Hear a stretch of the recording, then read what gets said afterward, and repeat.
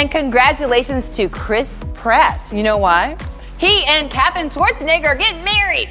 Officially, they are engaged. Pratt Instagram this photo saying, Sweet Katherine, so happy you said yes. I'm thrilled to be marrying you. Proud to live boldly in faith with you. Here we go.